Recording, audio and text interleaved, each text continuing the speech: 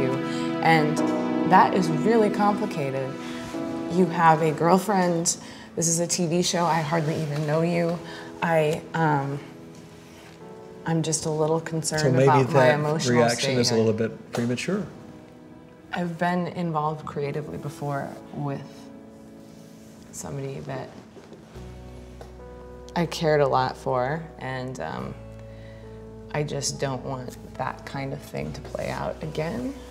And if the potential is there, I'm not gonna go there because it was really crappy, and I don't want that in my life again.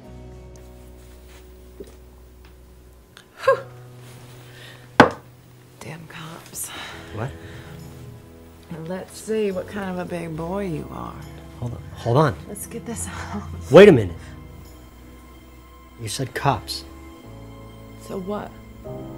Did they beat you? Did the cops beat you?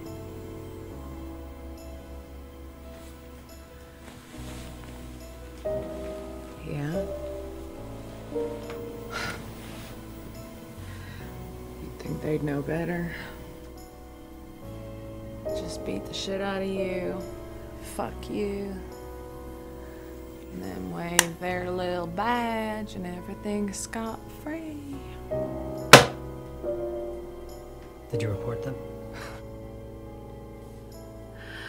Oh no, that's funny. that's real funny.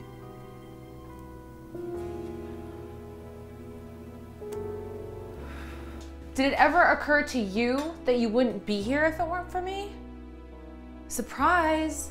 Mom, Dad, and Leah are out trying to get some lawyer to declare you incompetent. They're saying you can't take care of yourself. So if I weren't here with you, you'd be gone.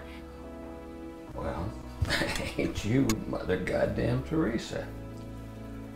You know, you're here on this farm for one reason.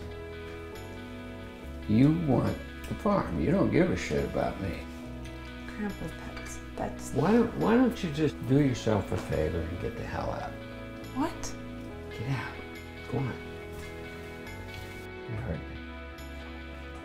Get out. Just get the hell out.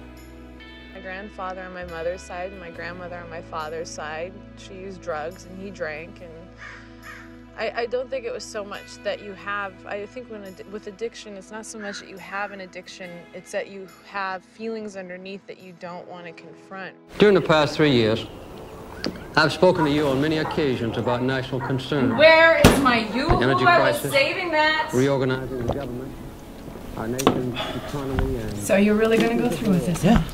and especially peace.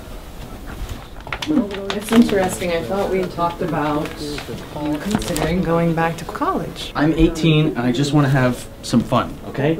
Well, you can have really fun experiences at Queensborough College. Mom, say that again to yourself.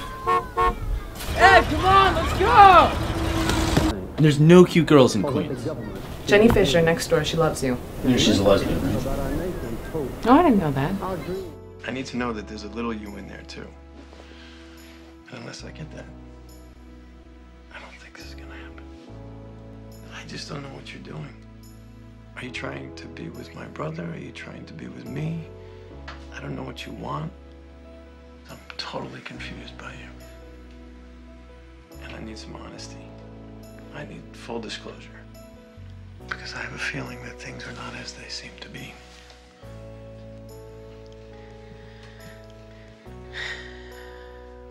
Are you what you seem to be? No, I'm not.